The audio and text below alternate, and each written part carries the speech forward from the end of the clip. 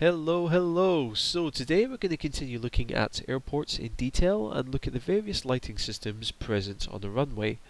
So let's get straight into it and look at the first system, which is the runway end lights. So as you can guess from the name, these lights are built into the ends of the runway. So each end will have a row of lights which will either be red or green, depending on which angle you view them from. The red lights will face towards the centre of the runway. These are used as a warning that you are approaching the end of the runway. Remember that red lights generally mean stop. The green lights will face outwards to indicate that you are approaching the end of the runway but that the rest of the runway is ahead of you. One more set of lights you may see at the end of a runway are the runway end identifier lights.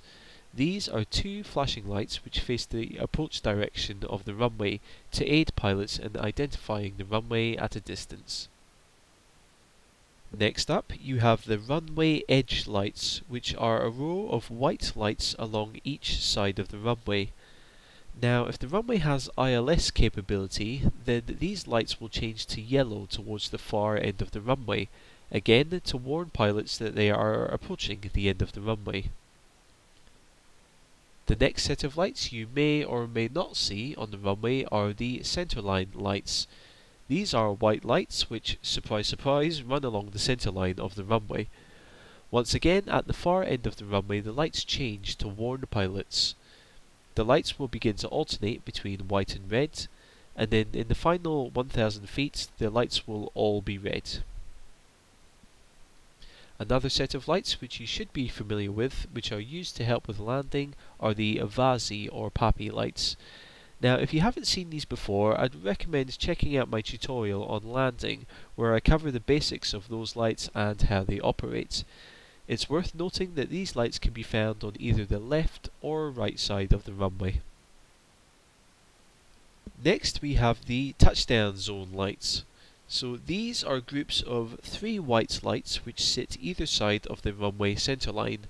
They begin at the runway threshold and will extend down the runway for 3000 feet to help a pilot identify the touchdown zone on the runway.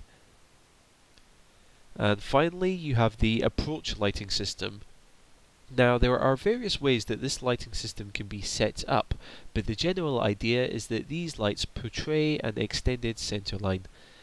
Now, if you're interested in seeing the different approach systems, you can Google some of these acronyms and see how they're configured.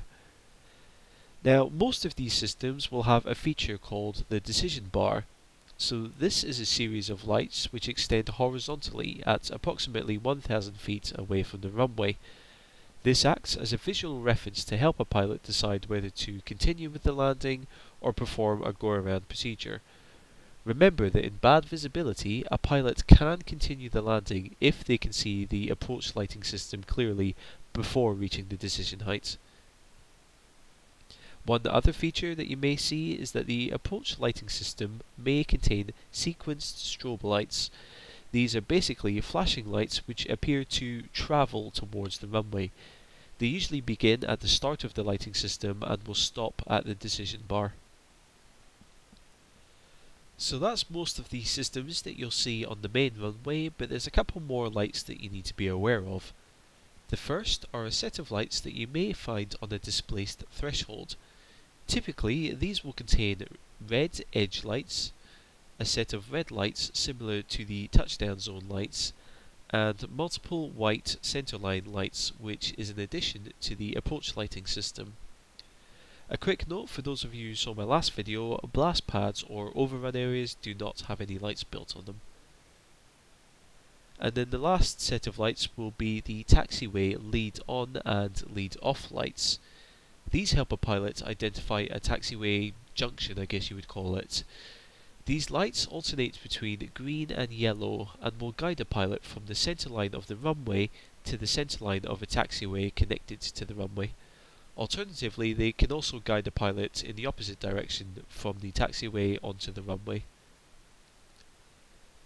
So there you have a quick look at the various lighting systems at an airport. So hopefully the next time you make a night landing you won't be overwhelmed by all the different lights and what they might mean.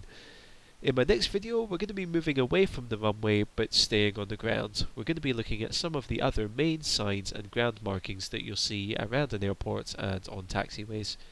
So, as always, thank you all very much for watching, take care out there, and I will see you all later.